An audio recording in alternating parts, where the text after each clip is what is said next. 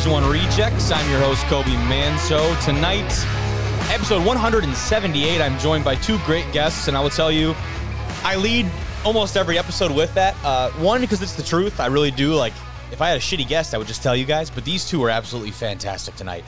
Uh, first things first, we have the kicker from the Friends University Falcons. That's Cole Thompson. He had a 40 yard field goal in our pick for this week's NAIA game of the week to take the Falcons uh, in a big time win over Kansas Wesleyan. And then later on, I'll talk to Christian Hicks, the linebacker from Carson Newman. Their 4 0 start picked up a big top 25 win over D2 Wingate.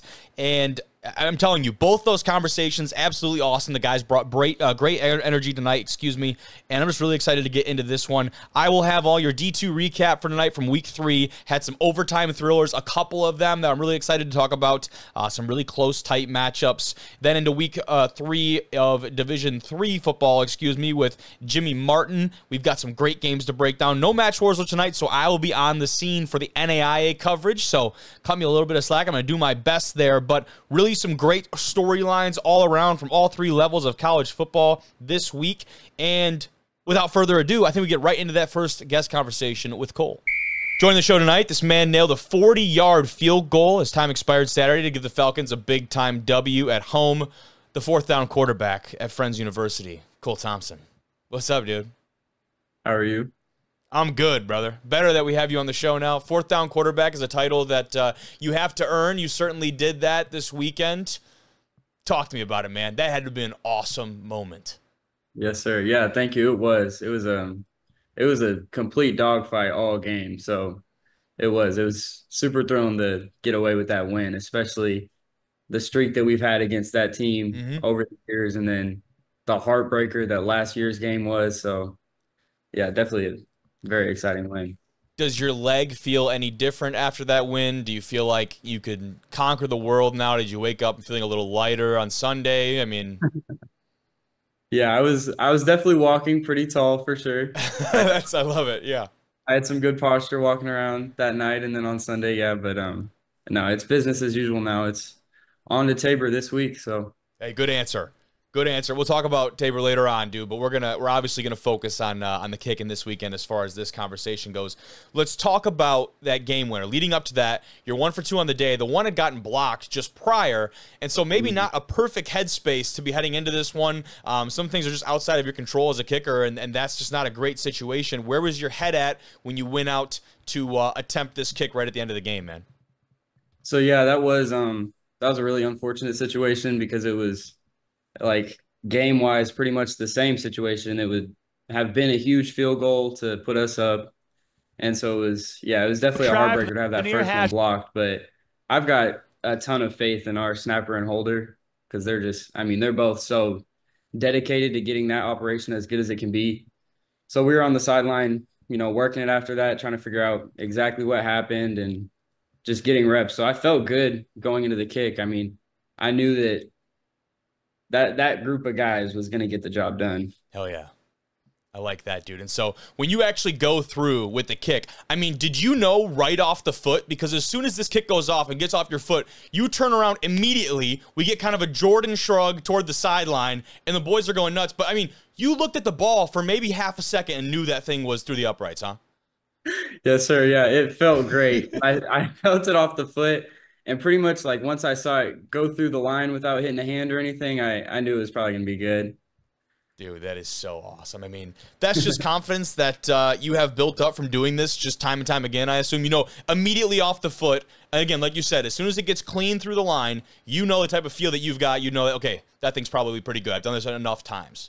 Yes, sir. Yeah, yeah, Dude, that was a badass. good. Yeah, that's that's so sweet. That was immediately what stood out to me watching like the kick back here. Um, was like, dude, Im- immediately, like right after it comes off your foot, you turn around just to the sideline. I thought that was so that was so cool, and that was the first win over Kansas Wesleyan for you guys in ten years. The first time this team has been four zero oh since two thousand and eight. So many firsts for this Falcons squad. What is the energy like in that building, and more importantly, what is the ceiling for this team over there for the Falcons right now?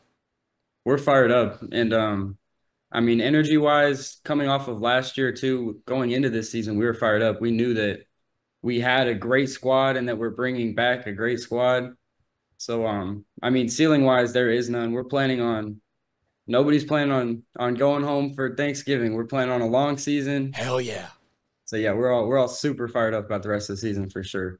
I love that. That's the mindset you got to have, guys that are that are bought into that. And and speaking of being bought into the style of offense that you guys play, in this one, only 22 passes attempted on both sides of the ball. That's nothing new for you guys. There actually was a game last year where there were no passes attempted that I know we put out a graphic for that was just to some people outside of that organization maybe ridiculous, but to the guys over there in that building, uh, just uh, just another Saturday. But this one, 22 passes attempted from both sides, gritty win that feels like exactly the kind of game that you guys want to be in. Mm-hmm. Yes, absolutely. Yeah, that's that's our brand of football. We just beat teams down, beat their will out of them, and then second half is really where it it yeah. starts to pile on.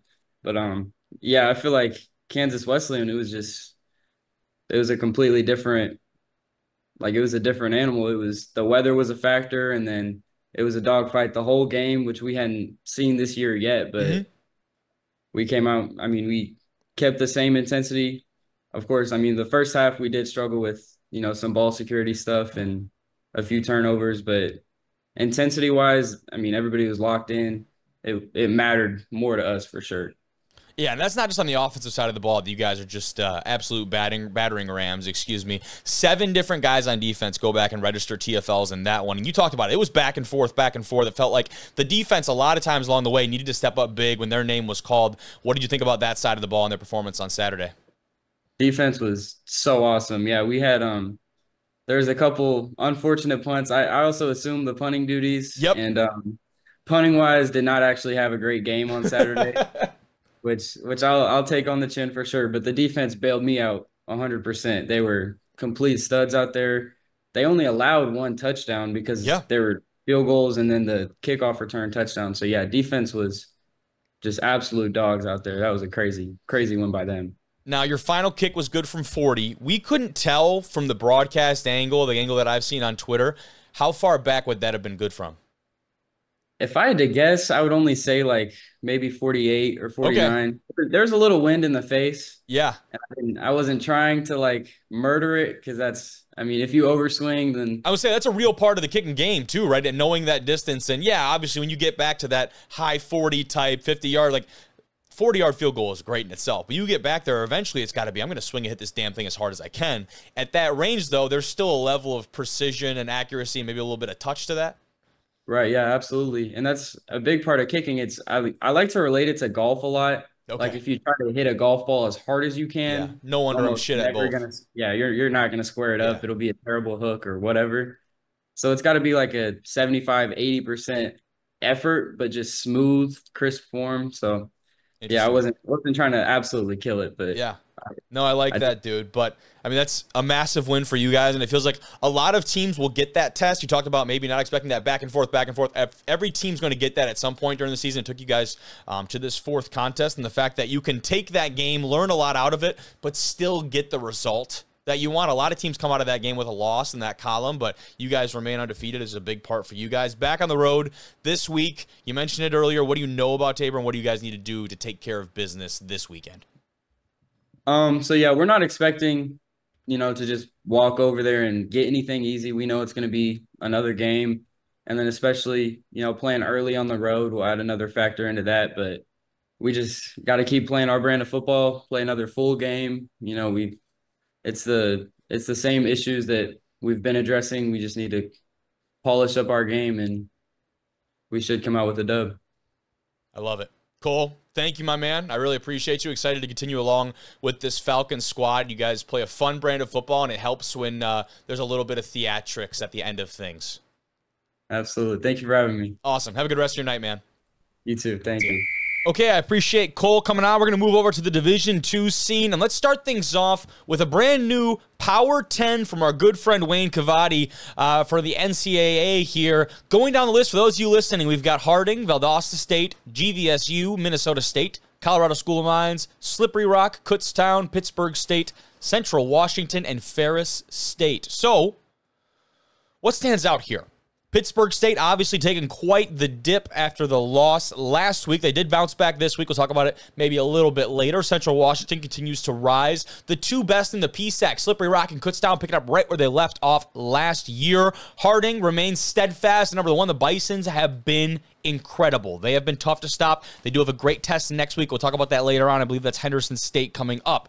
Valdosta, things are going well for the Blazers in the Gulf South. Grand Valley remains at number three after a close scare against UW La Crosse. Minnesota State has had a tough couple of contests as well. They looked dominant this week, though, against Minot. So, uh, very fitting to see the Mavericks in the number four spot. Colorado School Mines at number five. Man, they have eked out two very close games the last two weeks. But again, eked them out. That's the important part of the conversation. They continue to win. The Ore Diggers are finding ways to win these close games. And until they're unable to do that, until they're unable to win, I don't see them dropping outside of anywhere that top 10.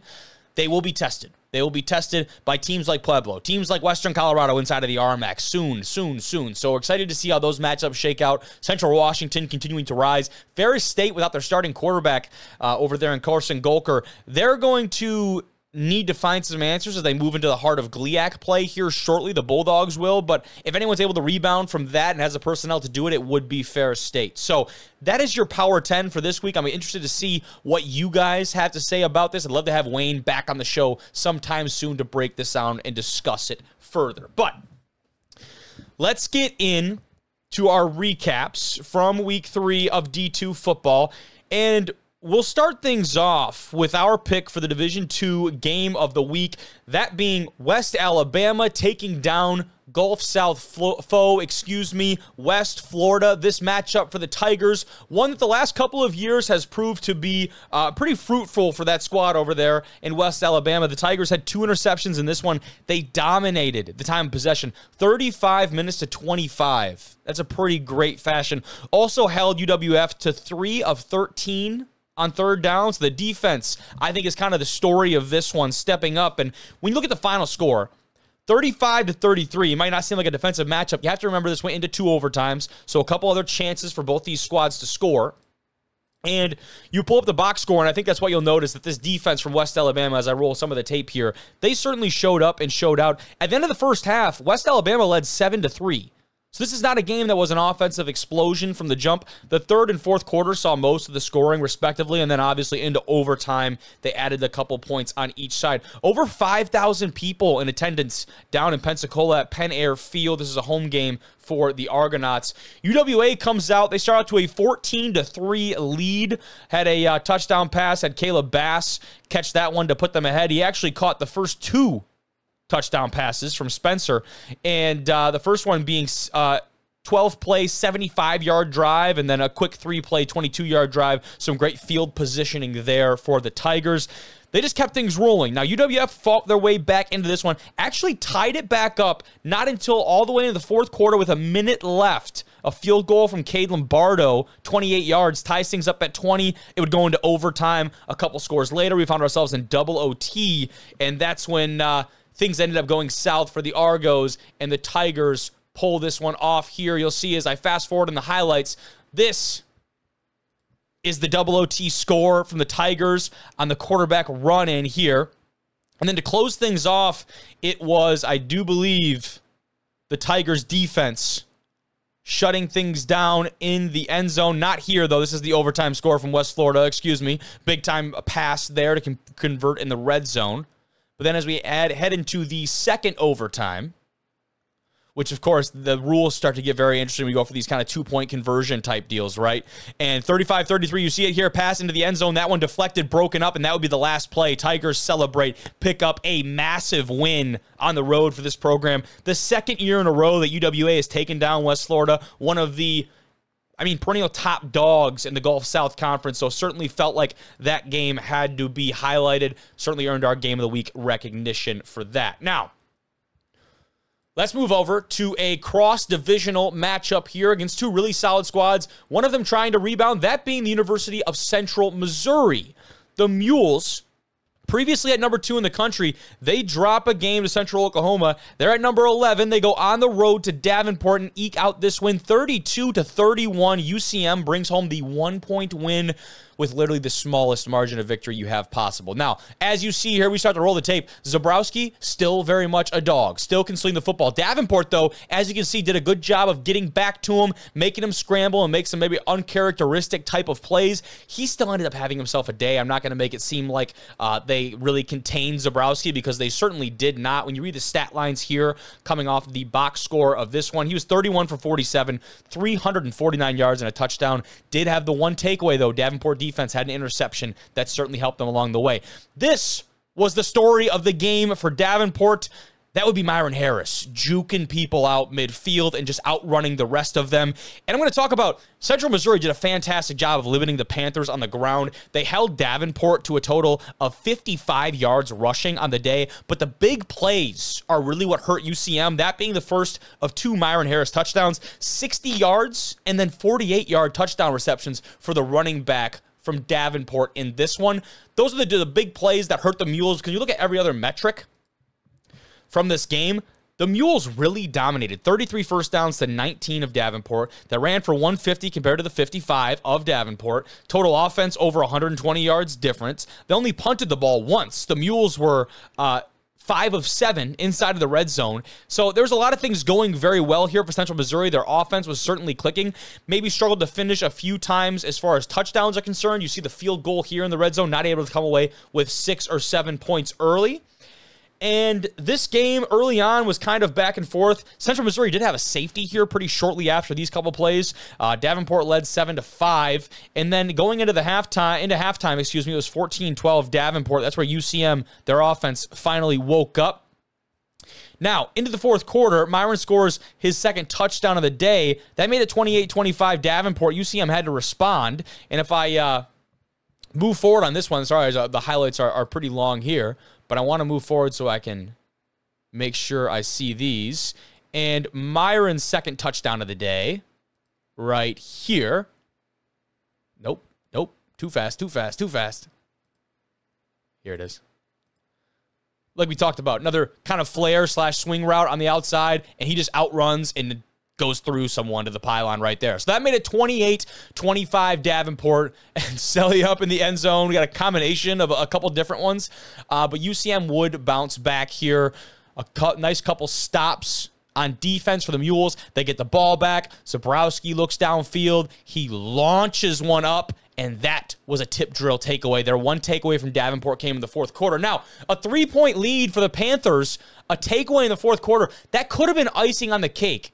And honestly, it was very close to being so. You see this deep pass completed here, and they would actually hold Davenport to a field goal. They had first and goal from around the nine yard line. There's our guy Preston Smith right there making a big time grab. They had first and goal from the nine yard line. It turns into second and 14. They actually don't end up converting. There's Smith again trying to make a stretch for the goal line. They don't end up converting. They have to settle for a field goal inside of the red zone here.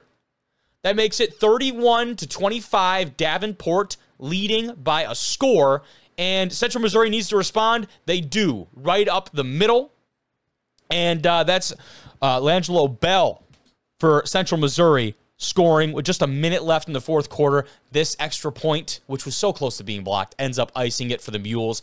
That's a really big time win for Central Missouri on the road and a bounce back win at that, dropping from number two in the country to number 11 and having to maybe look a little internally for the Mules. Everything, all of their goals are still ahead of them for that Central Missouri squad. I'm excited to continue to follow them down the road. Now, the next game we'll talk about, I'm going to go over relatively briefly just because we have uh, Hicks on later in the episode. That's Carson Newman beating Wingate in overtime. Wingate coming in as a number 24 team in the country. Carson Newman, 31 28 in overtime. The Eagles, excuse me, take this one. Things got started off here with a field goal from Carson Newman. And as you break down the scoring, Carson Newman got off to a hot start here.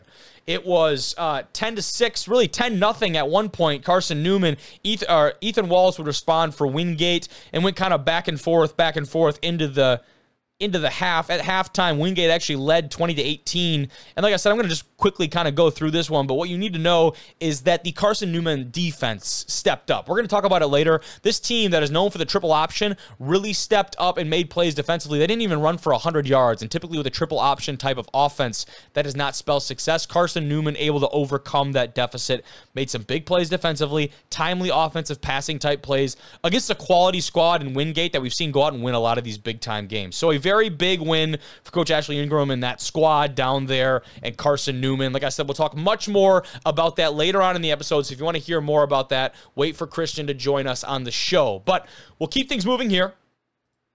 Don't have highlights for this one, but number four, Colorado Mines, they go into Chadron State. And this one was very interesting for me. We saw Mines pick up a gritty win last week, very much in the same this week, although some different contributors as far as how this one got done.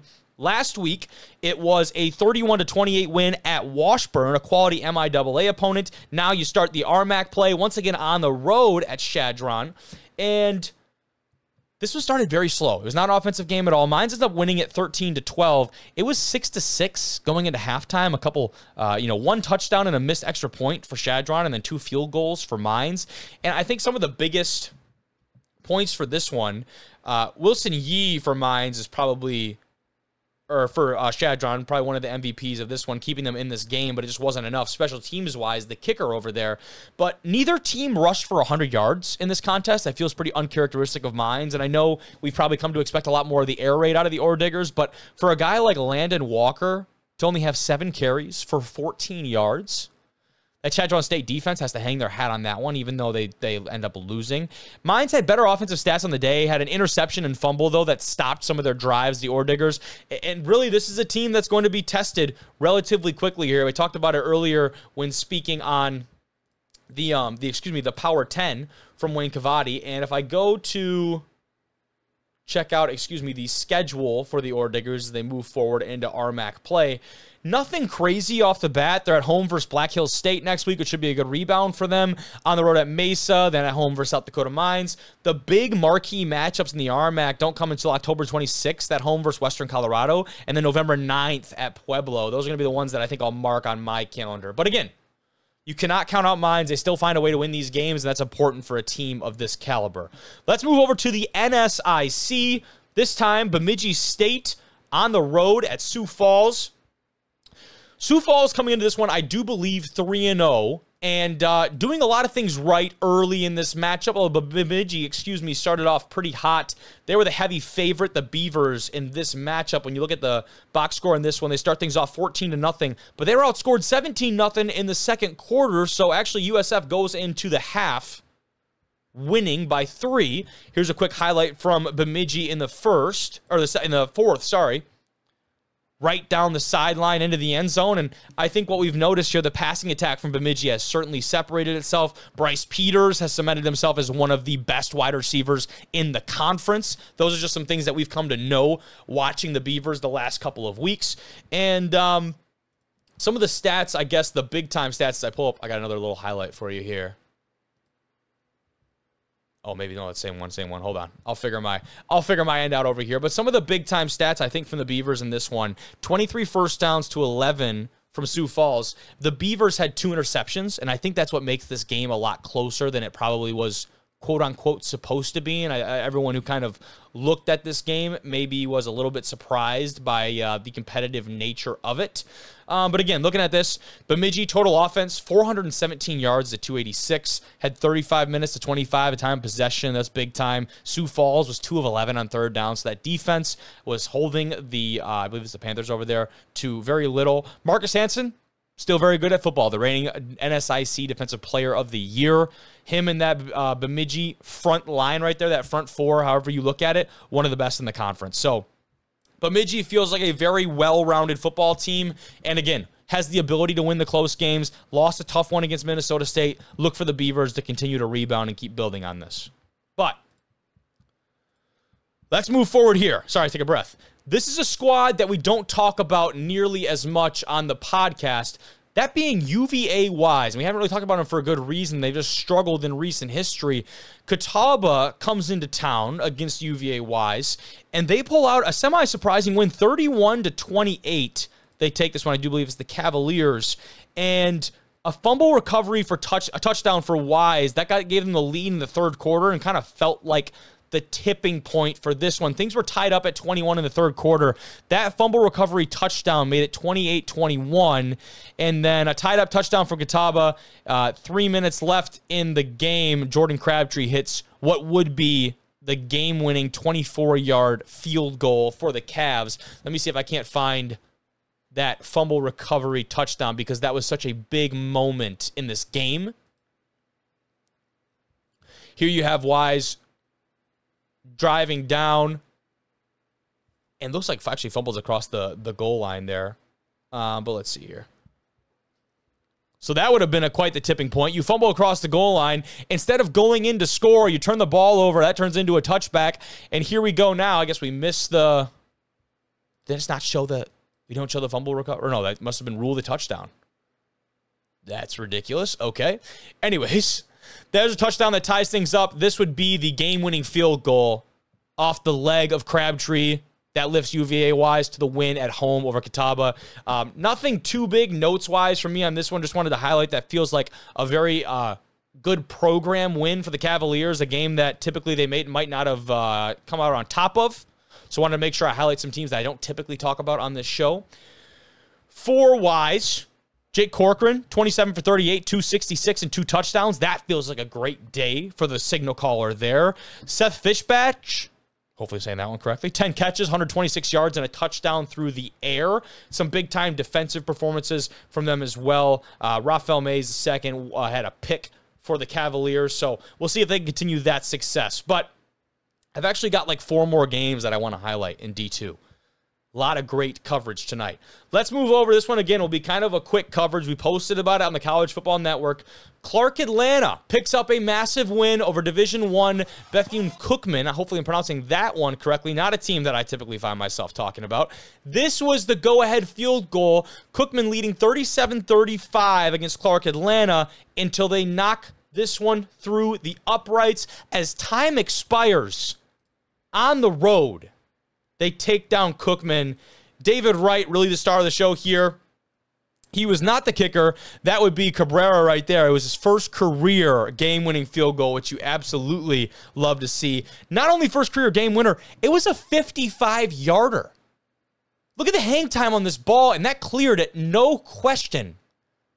You see the celebration there, deservedly so. Clark Atlanta picks up a massive win on their season. But once again, David Wright, who has been impressing under center for this Clark Atlanta squad, he was 30 for 49, 374, four touchdowns, did have one pick through the air. Added another 20 or 30 yards on the ground. He has been stellar for this offense, and we've certainly recognized that. He was our player of the week selection, I do believe, a couple weeks back. So shout out to those guys for getting that result. That is a big time outcome. But Let's go to the GAC. We haven't talked too much about this conference. I think we need to rectify that. Number 17, Ouachita Baptist. They go on the road to Southern Arkansas. 25 to 20, they pull out the win here. They were running the rock. Uh, was Baptist, 223 yards to only 86 of SAU. Uh, Southern Arkansas had 14 penalties in this one. That feels pretty noteworthy. The time possession once again dominated 35 minutes to 25 in favor of OBU, who was also 4 of 4 perfect in the red zone scoring opportunities. So, big time win for Ouachita, as uh, I do believe. I need to check, but I think that was their opener into. No, no, they've been playing. They've been playing in the Great American Conference. So Ouachita improves to 3 0 after wins over Southwestern and Northwestern Oklahoma State, respectively. Uh, that was their first real test against Southern Arkansas. Uh, but they're 3 0 in Great American Conference play. They don't really have some of the bigger tests like Harding, Arkansas Tech, Henderson, Southern Nazarene, those kind of players uh, in, until the end of the year. So look for Ouachita to continue to keep going. Speaking of Henderson, they pick up a big time win coming into this week at number 20. They host Arkansas Tech and they pick up a 27 to 12 win. Now, points in this one for you guys. Arkansas Tech finished with 27 net rushing yards on the day. The Reddies absolutely getting after it at the line of scrimmage. They had three sacks too, so that helps that net rushing yards number. Time possession once again 35 to 25 minutes. Had a pick six for Henderson State in the fourth quarter. That kind of iced it. Colby Crawford picks that one in, and uh, th- that really would have been the icing on the cake that kind of put the game away in the fourth quarter here. Henderson scored 20 of their 27 points in the fourth quarter. This was not a game. This was anything but a wire to wire victory for the Reddies. Uh, they were down nine to seven at half, and ended up being a really close contest all the way into the fourth. And that's where the offense started to figure it out. Jeremiah Davis adds two touchdowns. And then Colby Crawford ends up getting that pick six to kind of ice things. So excited to see what Henderson State continues to do. They are at Harding next week, the number one in the country, reigning GAC and national champions if there's any time to prove anything, it would be next week on the road in Searcy, Arkansas. I am pumped about that matchup. We haven't really seen Harding with a great test yet. They've looked fantastic, but they have not played Henderson State. They have not played a team close to that caliber. So I'm really excited to see what goes on over there. Finally, on the D2 scene, We've got Texas A&M Kingsville against a UT Permian Basin squad that uh, has been looking a little lackluster offensively. Had that tough loss two weeks ago against CSU Pueblo and trying to rebound last week, in which they did. And this week, not so much against this uh, Texas A&M Kingsville squad.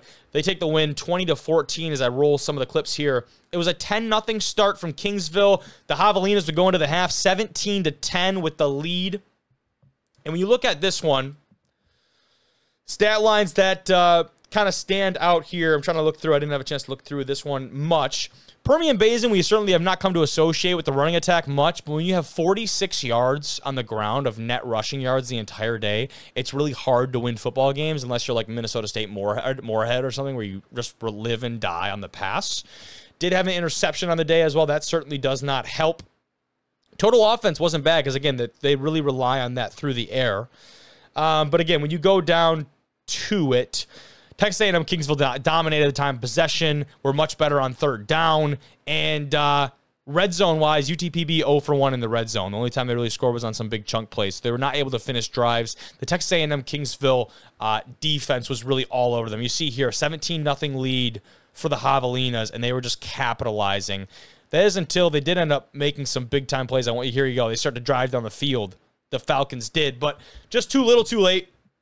Not enough right now for UTPB, and uh, not a great start to uh, the lone conference play there. They certainly are not out of the picture or out of the hunt when it comes to like a conference championship or playoff berth, those kind of things. I think they still have the opportunity to go do that if they run the table. And, and, I think that's still very much a possibility for the squad. If a team has the opportunity to do it, it could be this UTPB squad. But in the spirit of talking D2, let's go to our D2 guest for the night from Carson Newman. Also joining the show tonight, this man, one of the leaders of the Eagles defense in 2023. He and Carson Newman off to a hot start in 2024. Linebacker Christian Hicks. Here we go, man. What's going on? was not much, man. Chilling, chilling. Dude, excited to get you on. Definitely not uh, not chilling, as it would be the word after picking up a win over a top 25 opponent. I imagine that building was anything but chilling uh, on Saturday after that big time win, dude. Talk to me about it. It was a great win for us. We we prepared ourselves all week. We uh, knew they were a talented team, and our guys just came in there and we fought hard and we got the win, and we were just happy with the results that we that we made.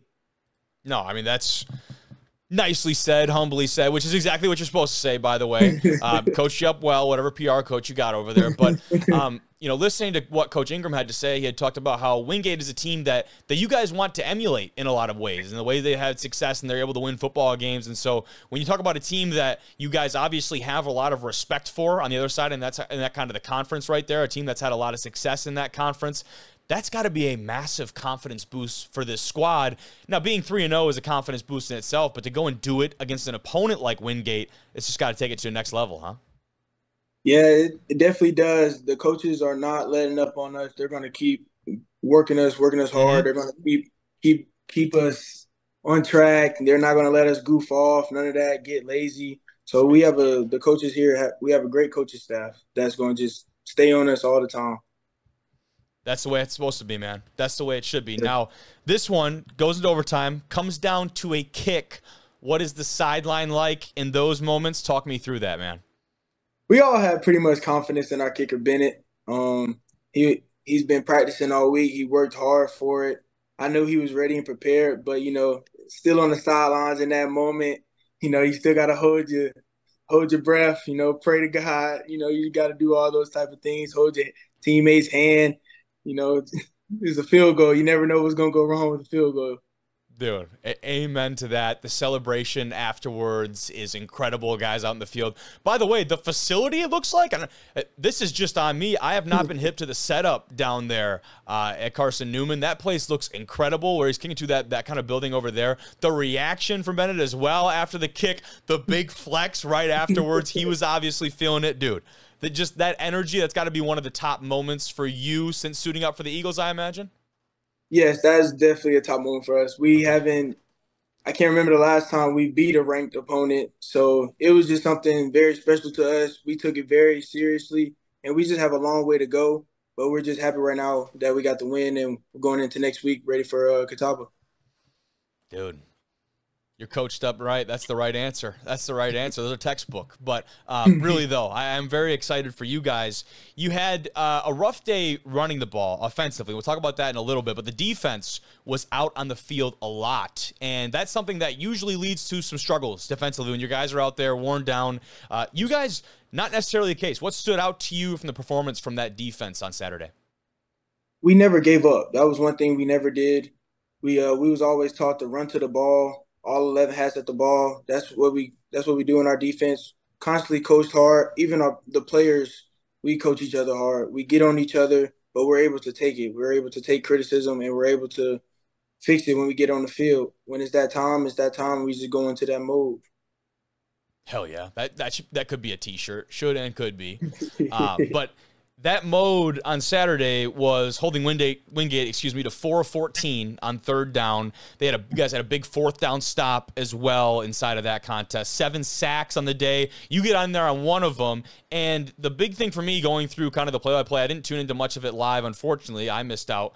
Uh, but you guys didn't allow that offense to stay in rhythm. It really looked like these third downs they're going for. Uh, this isn't third and short that they're going to. These are they aren't getting chunk yardage on first and second down. These are third and six, third and seven, third and eight, sometimes even longer, third and 11, because you have those sacks. You're getting the, that negative yardage. What allows you guys to get off that solid pass rush? I'm assuming a lot of it is just keeping those guys off rhythm on first and second down.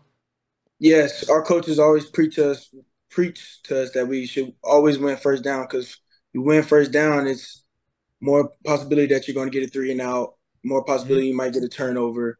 So it's just we always want to win the first down. And credit to our D line. Our D line got fabulous pressure. They have a good O line. So our D line, when they got their one on one pass rushes, they were able to create pressure and it gave the linebackers uh, time to come and finish it off because the quarterback would step up into the pocket. Hell yeah. Not often do you hear a pass rush described as fabulous, but I think it needs to happen more often, and uh, very deservingly so in this uh, kind of case scenario here. We talked about maybe the struggles offensively running the ball. The stat for you here, Christian, since 2000 as a triple option team, Carson Newman had never won a game rushing for less than 100 yards until Saturday. That is just very uncharacteristic of a team with your guys' style of play and your offense. You live and you die by that sword like Dan Campbell on fourth down. but the key takeaways, the other big plays, they make up for that in the aggregate. Is it encouraging to know that a team like you guys that runs this style, you have the supporting cast on the other side of the ball and some other big plays that you can still win games even when maybe that bread and butter is not going your way? Yeah, well, we have a great offense. Oh, we have a we went up against an experienced defensive line. Again, one of the best defenses in the country. Wingate has, but our guys were put to the test, and they we found ways to get into the end zone. That was we found ways to move the ball. It was just one of the things that we always pre the coaches always preached, and we always wanted to work on. So yes, we have a long way to go, but it got the job done.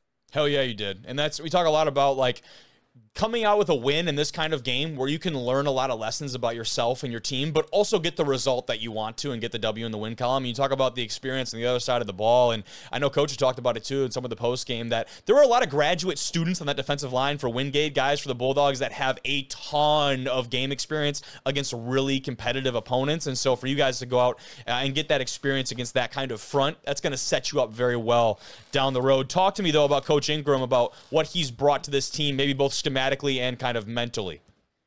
Mentally, he wants he wants us to be the toughest team in America. He's preached that to us since he got here. He he said that in his interview when he got the job. You know, he wants us to be a physical bunch. He always preaches the toughness. He always preaches my, our mindset has to be strong mentally.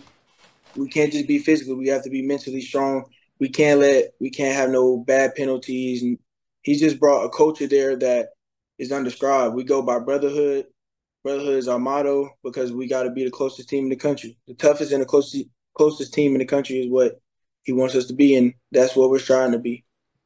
That is a dangerous combination, my man. And it feels like you guys are, are certainly on the cusp of, of really attaining that. Obviously, some big time games down the road for you guys, but this start is one that I'm excited to continue to follow along with. Christian, thank you for spending some time with me tonight, brother. That's all I got for you. All right. Thank you so much. Of course. Have a good rest of your night. You too. All right, let's talk about some Division Three football, and we will start with one of the most exciting games of the weekend, that being number two Cortland Jimmy versus number 11 Susquehanna. This was a game last year, Cortland's only blemish on their record throughout the regular season. And uh, Riverhawks almost got their get back again, 40 to 38. Cortland squeaks out this one. Very tough start for the Red Dragons.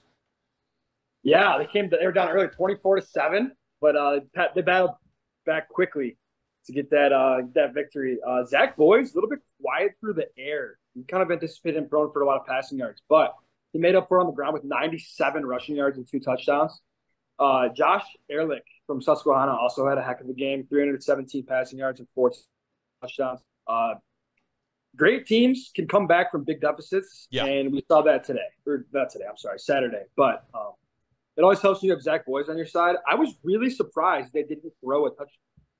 Yep. I was looking at that box score. I'm like, no way. How did they score 40 points without throwing a touchdown? It's kind of wild.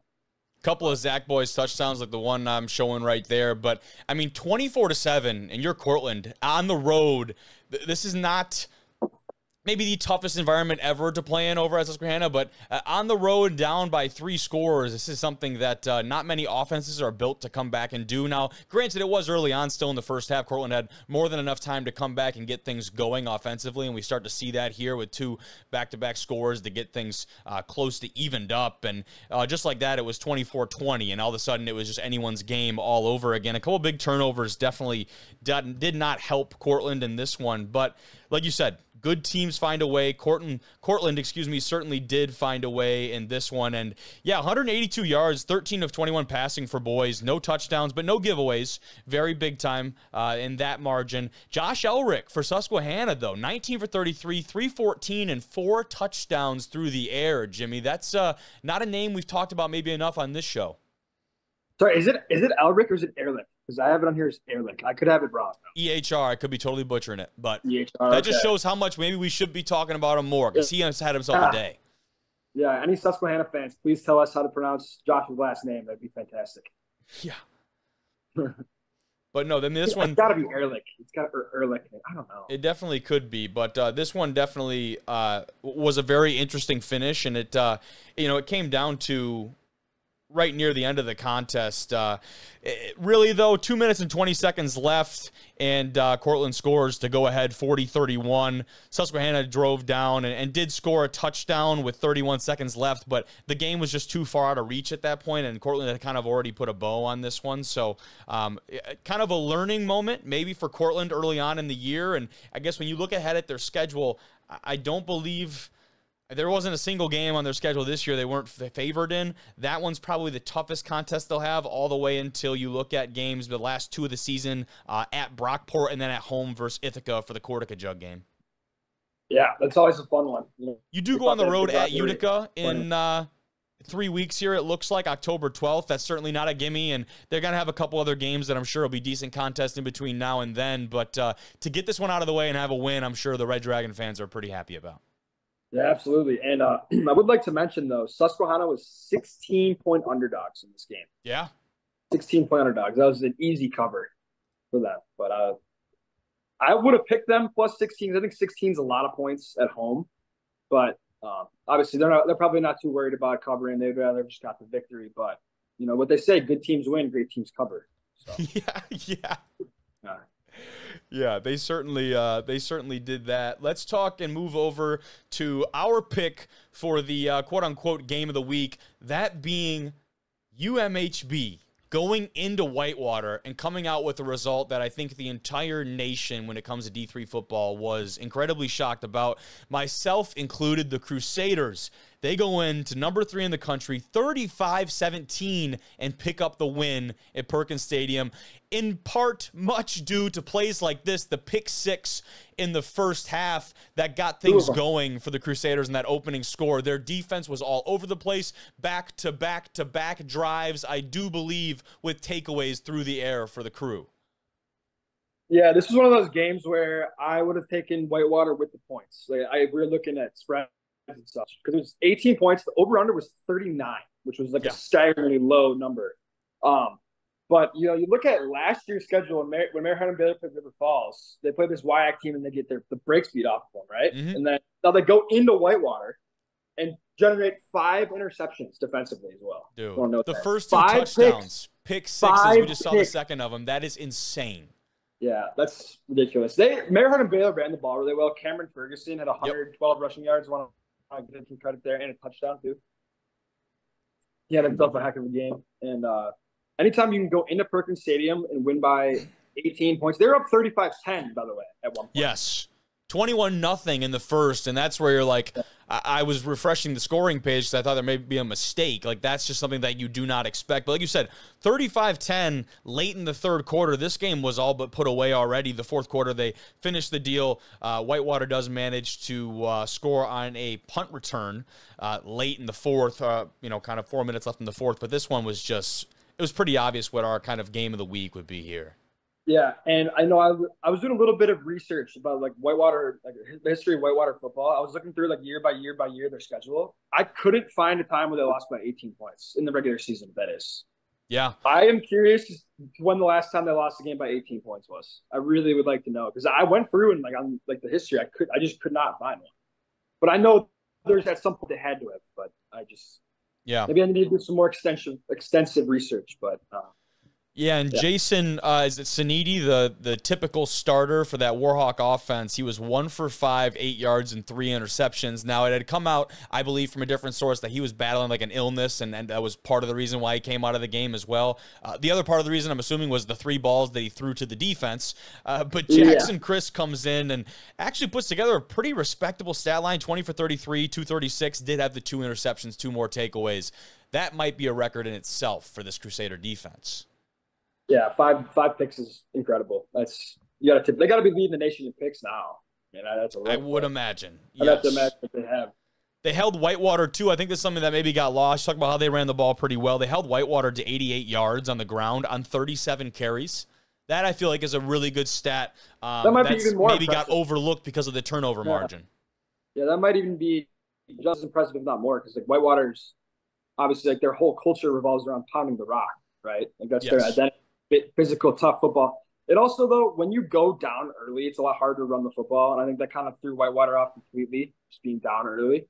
But um, and also it's like when you're down early, you're gonna have to throw the ball out more, which means probably more interceptions too. It's just with one comes two, comes three, comes four, comes five. Just, yeah, the domino effect, not good. But they'll, and really, be fine. They'll clean it up. They, are Whitewater. Like, yeah, when you look at this box score too, and, and they kind of fight their way back into it. Whitewater scored on two punt return touchdowns. I mean, their offense was abysmal. They could not get anything going. And you look at the, the two teams, two of 13 and three of 14 on third down. And Whitewater was one of five on fourth down. They actually were dominant in the time of possession, 35 minutes to 25.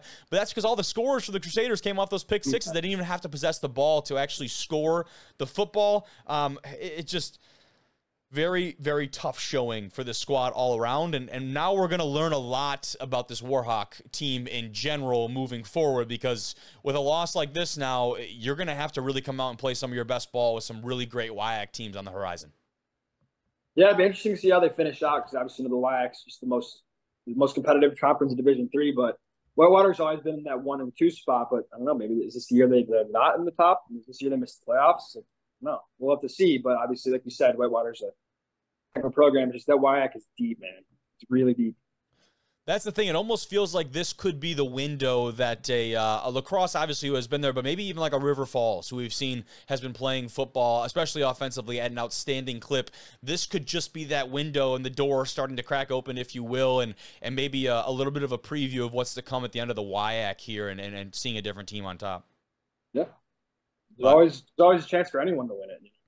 Hundred percent. Yeah, but that was. uh you know, you look at the rankings, and UMHB certainly deserved their jump in the uh, the national poll this week. But we can continue and move on in the game that maybe I don't think you and I, either of us, expected to be nearly as competitive as it was, and that's kudos uh, to the streaks over at John Carroll. But Mount Union, they do end up winning this one 37 31, hosting John Carroll.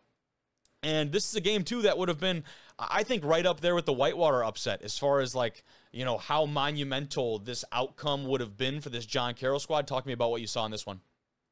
No, really tough loss here, picking up their second loss of the year now, but they've lost to just two elite programs yes. in Whitewater and uh, Mount Union. But obviously, you lose that third game, the playoff chances start dwindling very quickly. Um, Mount Union just continues to impress. I mean, 37 points, not not as many points. I mean, maybe have anticipated them scoring, or maybe a little bit more, considering John Carroll's defense is pretty strong. That over under yes. being 50 so actually, they did definitely score more points than anticipated. But the spread was at 17. John Carroll did cover that spread, so it's a pretty solid outing for them. Anytime you lose a Mount Union by six, and you're expected to lose by three scores, you know you got to hang your head on a pretty solid game. But there's no moral victories in this, no. this game we play, uh, especially against your rival, um, Nick. Sorry, I'm gonna totally botch his name. Nick Sentenfletter. Nick Sentenfletter had a heck of a game. Yep. Mount Union, 325, four touchdowns. Um, you know, I think I may have pronounced that right, actually. There were just so many it's such a long name. So many yeah, syllables. but you look at what they did on the ground, man. Yeah. I mean, 268 yards on the day, excuse me, for yeah. this uh, Mount Raider or Mount the Raider offense, the Mount Union Raider offense. They were dominant on the ground. I think that was probably the deciding factor in how you win a game like this so decidedly against kind of some nationally ranked competition. They also hold John Carroll to 77 yards on the day, which was again kind of the sticking point uh, for this offense. They had two guys over 110 yards on the ground and uh, combined for four touchdowns there as well. There were just a lot of things going for the Purple Raiders in this one. Um, not too much else to be said. I, I, don't really think so. The John Carroll had a lot going on through the air. I think you had mentioned it earlier on. A couple key turnovers, but uh, this one was pretty pretty wrapped up. I mean, the this offense from Mount Union, I think the biggest thing that stands out to me was the big play opportunities, and we saw a couple of them in the highlights playing there. Is that uh, they gashed this defense very well, and they only had three, or excuse me, nine third downs on the day. They were four of nine, which isn't maybe incredible, but that that means really though they're busting open these plays and they're not having to really sustain drives. They're just going down the field in chunk plays uh, and scoring on them. They they didn't really force that John Carroll defense didn't force this Purple Raider offense into a lot of uncomfortable situations. Yeah, and in order to win a game like that, you're going to have to do things to make the other team uncomfortable, and they didn't quite do enough, but they battled, man. They battled. I give them that. Yeah, I mean, they were up in the second quarter, 14-13, John Carroll was. This was not like a uh, wire-to-wire type game for Mount Union, but nonetheless, good time victory, big time victory for them. Let's talk about a game I was pretty excited about. Salisbury versus number six, Johns Hopkins. They came into the week at number 25, and the Seagulls with a big time W, 41 to 13 in a fashion that again, neither you and I would have expected. Maybe we should start going on the record and keeping track of game picks because uh, this would have been a, a, one in the wrong column for both of us, I think. Uh, yeah. Um, going in as 12 and a half point underdogs to win outright by 28 points as such big underdogs is ridiculous. Also, something that's really interesting, John Johns Hopkins was winning this game at half 13 yep. to 10.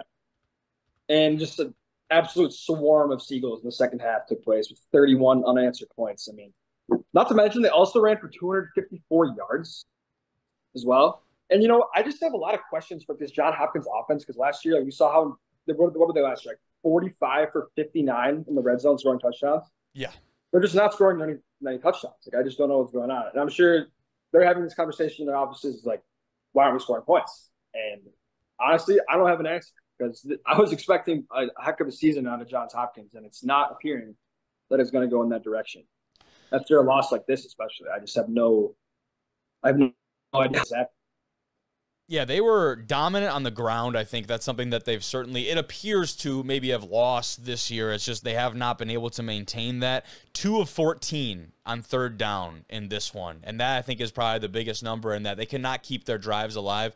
Although those black uniforms are so sick that it's yeah. definitely one of the best in the country. Uh, yeah. Unfortunately, that does not save you in these kind of circumstances. I was uh, just about to say that. they are badass. Um, but no, I think I think that's the biggest thing for me is is on the ground, whether it be offensively or defensively. They let up almost 250 yards of net rushing on the day from the Seagull this Seagull squad, and you're just not going to win a game when those stats are not in your favor. I mean, that goes back to the rushing stats. Yes, they actually won the time possession battle, which was a little bit surprising for me looking at just the box score. Um, but otherwise, I mean just kind of disappointing for this squad that uh, you know obviously there were high hopes for coming off the the run that they had last year. Yeah, that not what we were expecting whatsoever. But Salisbury, they keep climbing up. They have two pretty huge wins now on their resume, and they're building quite a case for a uh, playoff bid. Yeah, looking at their schedule moving forward uh, for Salisbury here, I'm pulling it up here quickly, but uh, three and zero oh right now. You talk about the last two weeks. Obviously, that that previous one at home against number 18 Muhlenberg, and then you go now to a couple games that again I wouldn't consider a quote unquote break for the Salisbury offense, but um, at home against Christopher Newport, and then uh, on the road at William Paterson, Montclair State, Rowan they have a really good chance to run the table this year. If you're the Seagull squad and you look at their schedule ahead, and um, obviously we're allowed to do that, they're not allowed to do that. But um, looking ahead at their schedule, there's a really good chance that this squad can come out of this uh, with no blemishes on their record. Yeah. I'm sure there a lot of them are thinking it, but no one's saying it. No, they better not be, or else that's a very easy way to to screw that yeah. and ruin it. Yeah, certainly. We'll move on. This one, Berry picks up a big time win against Randolph Macon, 28 24 on the road. This Randolph Macon squad, maybe not what we expected once again. Jimmy, what did you see in this one? Yeah, we had our concerns a little bit last week with Randolph Macon not winning super convincingly, and it showed up this week. Uh, took a loss to a game they were expected to win. However, this was one of the closer spreads we had. It was only two and a half points, leaning towards Randolph Macon. The over under sitting at 53 and a half, which was under by just a point and a half. So I'm sure there are some people sweating over that potentially. Um, uh, um, uh, Berry Berry took the lead in the final minutes of the game with a touchdown from Brandon Cade, who had uh, 60 rushing yards and two touchdowns. Um, Stud. Um, yeah, and I, I was surprised. I, I, thought they would have ran the ball for a little like more effectively, but I mean they're scoring on the ground, so I guess that was good. But um, yeah, Cade's been having a heck of a year. I was 60 yards. I was like, oh, I wonder if it was 60. Yeah, no, I mean this this Randolph Macon defense last year, they were allowing 2.5 yards per carry and they're allowing less than 70 yards per game on the ground. And I think that was what led to a lot of their uh, success offensively. When you look at this one, they kind of kept that up. I mean, under 70 yards for this Berry team, but it was the explosive plays that got them, and it was uh, some of the plays through the air. Also, the turnover, the turnovers, right? That turnover margin is something that uh, uh maybe didn't go in their favor. But it, it, feels like they're checking some of the same boxes as last year with that run defense, and they're just not having the same results. So for me, again, not a game that I had the chance to tune into, so I couldn't tell you like the ups and downs of that. We had too much going on this weekend with uh, homecoming up here at Northern, which unfortunately we'll talk about in a little bit. Uh, but you know, this one is looking forward for Randolph Macon. It's it's going to be interesting. You uh, don't have any, I guess, again, quote unquote, big time matchups. It's hard to tell though with this squad because that's all relative, right? Moving forward, there's not many uh, ranked teams on the horizon for this Randolph Macon squad, so potentially still have a lot of room to bounce back. Yeah, always room to bounce back. You know, there's a lot of football to play. So. Yeah, they do start ODAC play next week at uh, Shenandoah, so um, if you're going to start it, it may as well be inside of conference play. Let's move over to our last kind of highlighted game of the day. This one, I'm kind of it's kind of semi excited to talk about. We haven't talked about our guy Louis Barrios under center um, at Delaware Valley in a while. We are going to talk about Del Val today, and it's not because of a stat line that he put up, but rather Stevenson picking up a 21 to 20 win over the Aggies there. And this was a pretty monumental win for that squad over there, huh, Jim? Yeah, and the defense stepped up big time for them. You know, anytime you are a huge underdog like they were at 19 and a half points, you're going to have to have big plays and turnovers. And that's exactly what they did. Jovan Terrell with two interceptions to uh, bolster that defense up. And there's a the big what if play. It was a missed extra point with five minutes to go to tie the game. And obviously, at the end of the game, uh, Harvey had a game sealing interception. But man, oh man, anytime you think about a missed extra point and you lose by one. Yeah. No, that is that is ridiculous. Um, and the over under for this game was 42, and it finished at 41, and just a mixed extra point from most likely overtime because no one yes. scored. Just wild stuff there. Wild you can stuff. definitely assume uh, when you look at the the history of this game Right, I think there's some big numbers that stand out, and uh, you go back. The last time that Stevenson won this game was back at home in 2016, and that's notable for a couple of reasons. One, because that's the last time that Stevenson beat Delaware Valley. That's also the last time anyone in their conference beat Delaware Valley. Jimmy, they've been on an absolute tear inside of conference oh, play, and yeah. uh, this win is is monumental in that way because this Delaware Valley team has owned the conference for a long time, and and this could be a uh, changing of the guard, uh, changing of the throne, I guess, whatever kind of analogy you want to use. Essentially, yeah. There's no reason why there can't be, you know. But I think I actually do remember talking about that a bit last year with you. We were previewing a Delaware Valley game. It may have been when we had them. Uh, we unveiled their new show. What was that like last year? Like we were talking about their crazy like conference win streak. I did not actually have that here, but um, yeah. know that. Very the Middle Atlantic that. Conference, that makes, that makes they were on a more impressive. Yeah. in the uh, in the MAC. They were on a 54 game winning streak. Wow, that's a lot of wins. That's hard to do. That is incredibly hard to do. Yeah.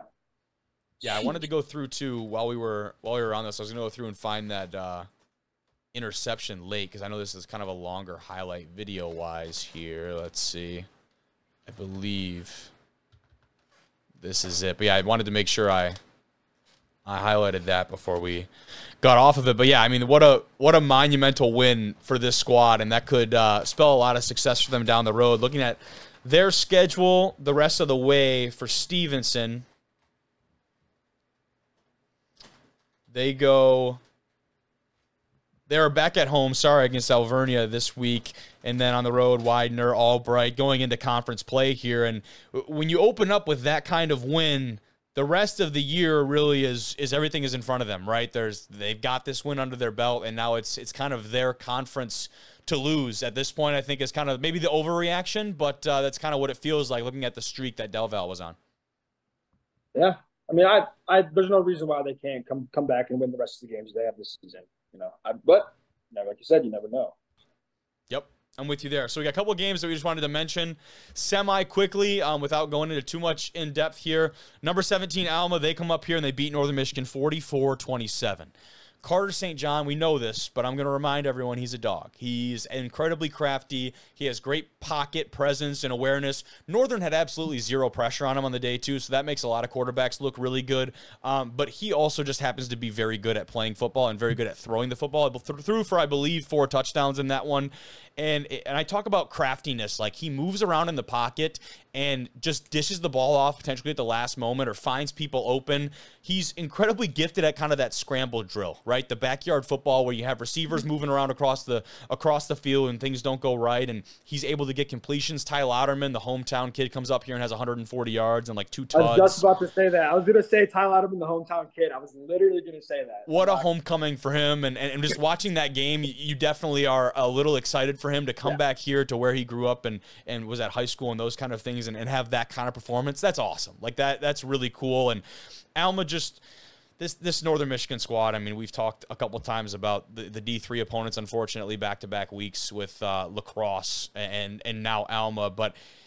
It's really hard for a D2 like Northern in a spot in their program where they're at, where they're just struggling to pick up any win whatsoever, to schedule two D3s, but then two D3s that are arguably two of the top 10, 15 teams in the country, depending on who you ask. Yeah, I mean, I don't know if they're scheduling those games like just to win them, or I don't know. I, again, they're all, they're scheduled every game to win, but like if you pick out D three teams, like you you think you would, I don't know. You know, you know what I'm getting at? It's just like yeah, especially know. like your homecoming game, right? This was homecoming yeah. for Northern, and you go out and schedule this Alma squad. So It's it's really tough, man. And and for Northern, I- it's like I it- you start to wonder when, when things are going to shake because this is they're on a skid right now that is that is truly truly bad. And as someone who has graduated from here and works here, it sucks. It sucks to watch. It sucks to watch the product, and you feel for the guys because it's not the guys want to win. You know what I mean? You feel for the guys out there, and it's really hard, really hard to watch. Yeah, I remember we went one and nine my freshman year at Northern. and That was really bad. But Yeah. they, lost like 15 in a row now. Like I, uh, just it's just brutal, like you said. It is. It's it's like just really hard to be a part of the program. But let's talk about that La Crosse team that beat up on Northern last week. Number five La Crosse. They go into number two in Division Two GVSU and scare the shit out of the Lakers. GVSU ends up winning 20 to 13, Jimmy, but this game was so back and forth with some great quarterback play from La Crosse. Avery Moore, the quarterback from GV, not in this one. He was banged up from their game against CSU Pueblo last week. That certainly contributed to some of the offensive struggles, excuse me, for the Lakers, but nonetheless, man, this La Crosse squad, that is a that would have been the upset of the year to go into Lubbers in a night game, a seven o'clock kick, and take down the Lakers. And hey, those WAC teams are tough, man. I tell you what. Um, I mean, Grand Grand Valley obviously huge favorite in this one at 21 and a half, and they had no chance to cover this one. They had uh, La Crosse super impressed with them. Um, honestly, I'm not like shocked they kept it this close. So I'm gonna be honest with you. Um, I would have been shocked if they won the game, but if you would have told me they lost by seven, I would have been. The only reason I think I was so surprised is watching their defense against Northern Michigan last week and, and and just seeing some kind of blatant holes and miscues on the defensive side of the ball. I think had some question marks for me, especially the way Grand Valley had been running the wall, the ball, excuse me, going into this contest. I thought it was going to be a ground and pound at the line of scrimmage type of game where they just dominated time possession and had long drives, but that was not the case. Otherwise, number 15, Wartburg, they hold off Central 10 to 6. Thought that was kind of a noteworthy outcome. And then the last one was uh, Lakeland winning a shootout versus Concordia Chicago, two teams you don't talk about too much, 66 to 61.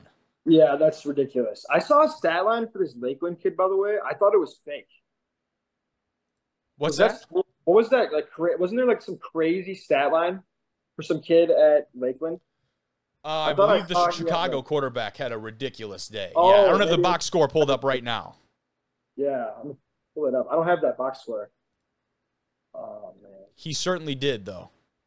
yeah, it was like the craziest stat line I've ever seen. If I saw it, I, I might have like read it wrong. I think I might have read two players next to each other or something by chance, but uh, No, this? I hear you, but yeah, definitely at least worth mentioning because, um, and I can pull it up real quick. Hold on, let me. Uh, I'm digging at it myself. I'm trying to- I'll pull because I had that. You actually have it Oh, down. here like we do our we do our Uh, player of the week nominees, and I know I had. I believe it was their quarterback in for the nominee for one of the players of the week for D three, and uh, here it is right here. Colton Bosch, twenty one for thirty four, four hundred and three yards, five touchdowns, and a pick.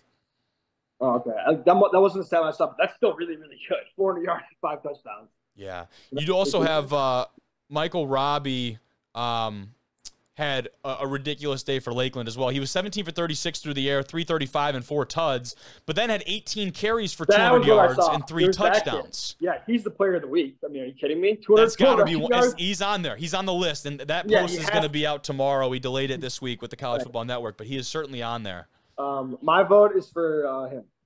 I mean, Robbie, that's yeah. 335, four touchdowns passing, and 204 and three on the ground. How does he not win? That's absurd. Like, That's the thing, though. Every week, bro, we get these stat lines, and it's like, okay, how he's got to win it, and then you find two or three more guys, and you're like, holy shit. no. There's no way anyone's topping this. Unless someone threw for like 600 yards and eight. I will say too, though, we, uh, like what we do factor in is like competition as well. So if you're playing like a Yeah. nationally ranked opponent versus like Concordia Chicago, like we're gonna weigh that differently. The stat line is still ridiculous. He's not a shoe in though. I wouldn't say. Yeah, I mean, what is it then? 539 and seven touchdowns. That's outrageous. That is outrageous. That's stupid, dude. It's a video game. I thought because I thought that was faker. I thought I like read two players in a row. I'm like, oh, the same last or something. I'm like, no, that's real. that's yes, real. bro. Yeah, Yeah, it is. No, we'll, we'll have all those Hey, released tomorrow. They're a little bit delayed. Gatron Bev- Beverly for Lakeland, five for 99, a touchdown. Uh, the old Wildcat just popped up on the box score here. Shout out Yep. to Jake if you're listening. But I think that's all we got for this week, Jim. Sweet. Always really good, football. Really good football Yep. being played. I wish I didn't get to tune in too much of it this week because we had stuff going on up here. But uh, glad to, glad to break it down with you, brother, as always. Yes, sir. Take care. See you, man. We'll move over to the NAIA scene. Let's start things off with a fantastic game. Number 20 coming into the weekend. Southern Oregon. They visit number nine, College of Idaho. The Yotes trying to rebound from a tough loss against Montana Western. They wouldn't get it. Uh, Southern Oregon comes in here and they put on a show. And the final of this one being 45 to 27, certainly not something I expected. Once again, Matt not joining me tonight, but I would have guaranteed that he probably would not have predicted that result either. This squad looked really good, like wire to wire. They start things off 14 nothing. Gunnar Yates, a 10 yard and then a 68 yard touchdown run. We're going to talk about a lot about him here in a minute because that would not be the only times he did that on the night. But this Southern Oregon squad really looked dominant on the ground game, offensively and defensively. These highlights I'm showing right here are all from the second half. And when you look at some of the team stats from this one, you go down 258 yards on the ground for Southern Oregon in this one. That feels like a really, really good number. 571 yards of total offense there. And two interceptions to go on top of that. So you're getting the takeaway battle. You're winning the ground battle. Time of possession was almost 37 to 23 minutes in favor of Southern Oregon.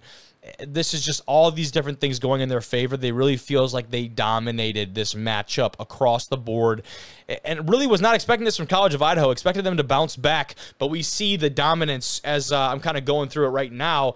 A big part of that dominance, the graphic I'm about to show you right now, Gunnar Yates and the day that he had for SOU, absolutely ludicrous. Take a look at this stat line.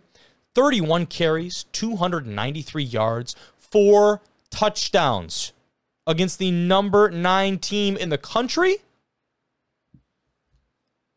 That's just not something you see every day. That is different. That is absolutely different. Here's a cut up of some of those touchdowns here. Starting things off with his quick, uh, almost 10 yard touchdown running in between the tackles off to the right side there. Nothing too crazy. The next one, that's where it started to get ridiculous, was a 68 yard touchdown that I'm sure we'll get to here in just a second. Back in their own territory, right on the 30 yard line, through the tackles, cuts out left, and he's just outrunning Yote defenders here down the sideline. Goes for the ankle, kind of the trip up there. Not even a chance. Yates pulls away. What a career day for Gunnar Yates in the Southern Oregon offense. I'll continue to let these play as I talk a little bit more about this contest because, oh my goodness, you just got to respect that stat line. Now, the schedule moving forward for the Raiders out of Southern Oregon, it's not exactly easy. They're at home against number four Montana Western. Then you go on the road at number 10 Montana Tech, two teams we've talked about religiously on this program. Eh, it's really tough next couple of weeks, but right now, the momentum that this team has, they're 3 0 coming off a great home win. And this is just, it feels like all the momentum in the world is going up right now for this Raider offense and this Raider team in general. I am very excited to see what this Southern other or Oregon, excuse me, squad can pull off. I have not been tuned into enough of their games. That is going to change these next couple of weeks. I tell you that right now. I'm absolutely going to be tuned in. But we'll keep moving forward on the NAIA scene. How about Ottawa, Kansas versus McPherson? The Bulldogs from McPherson picking up a 31 to 14 victory. Led 14-7 at the half, outscored them 17-7 in the second half. That's a good recipe for success. Uh, Zabo, Tristan Zabo, excuse me, 10 of 16, 208 yards and two touchdowns through the air. Helped out that Jaleel Brown had 19 touches for 100 yards and a tud on the ground. Their defense certainly stepped up as well. Rochelle Christ- Christopher Rochelle, excuse me, had an interception, and then a couple TFLs from a couple different guys. Jaquez Wilson was one of them, but McPherson. We've talked about them a couple times now on the show. They certainly have deserved it. The Bulldogs sit at three and one right now after an opening weekend loss. They've got Avila, Kansas Wesleyan, Bethel College coming down the pipeline with three ranked foes to finish out their last three weeks of the season. Evangel, Friends, and Southwestern. So again, a team like McPherson, McPherson, excuse me, you had a loss early. Everything's still on the table for the Bulldogs moving forward. Let's go down though to one of those couple of those squads in conference we were talking about. Avila made a visit to Bethel. The Thrashers come out, Threshers, excuse me, come out with a 20 to 70 win. Got a little bit of video from the post game of the Threshers in that environment. Looked like kind of uh looked like kind of a rainy game type atmosphere. Great, great football environment. You can see it there.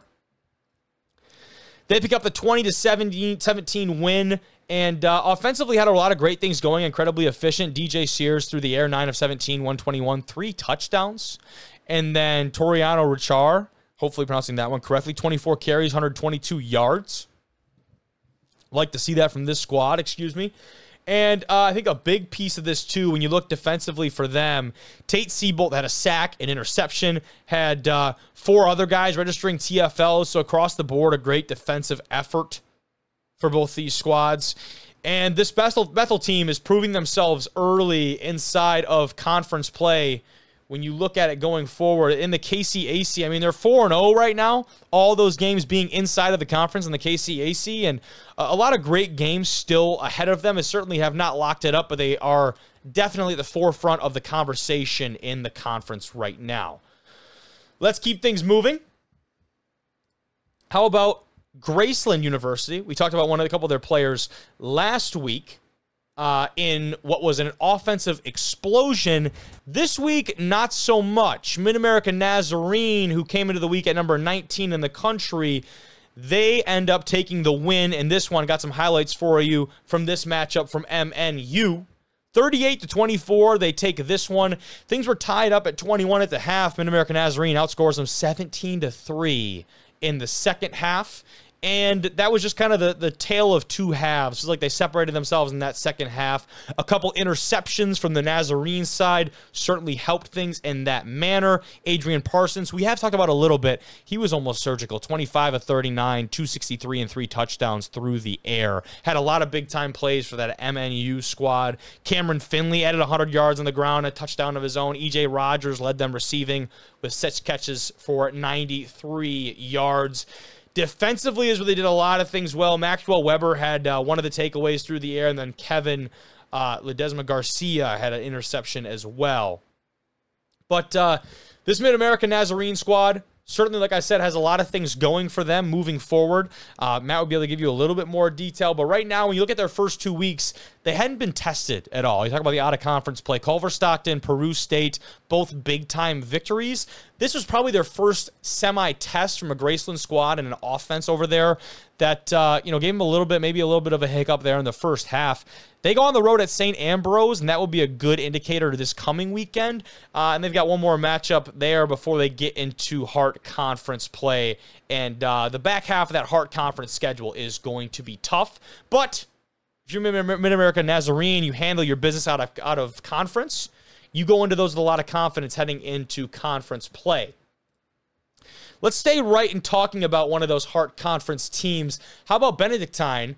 and their win over St. Ambrose, who will actually be playing MNU this coming week. Here are some of the highlights from that one. The final score from this one Benedictine takes it 45 to 14. And offensively, what was a very very dominant contest. They went into the half up 24 to nothing over st ambrose which is no slouch of a squad. I certainly want to uh, put that out there. Uh, dooley our guy who we had on the show here just a couple weeks back, he was absolutely balling. They opened things up with a 75 yard touchdown pass to Jay Sean Todd, and they kept things going. An 83 yard pass to Jacob Gathright. Jay Sean Todd hauled in another one from Dooley, and they just kept things going there. Uh, offensively, Benedictine was shining in this one that's kind of uh, the big notes from that. The last one I really wanted to mention on the NAIA side of things, Northwestern College picks up a big win. They stay at number two in the rankings this week, 17 to seven over uh, GPAC foe Midland, and this one nothing too crazy, 14 nothing at half. Midland would score a touchdown, their only touchdown in the third quarter, but Northwestern hangs on. Midland absolutely not a slouch. Northwestern still very good at the football, but That's about it for me tonight. If you can't tell, I'm almost out of breath. I'm talking about all this football, but I'm very appreciative that I get to come on here and talk about it each and every week. Let me know who I should cover, who I should be on the lookout for in the coming weeks. I'm excited to watch more small school football. For D1 Rejects, this has been Kobe Manzo.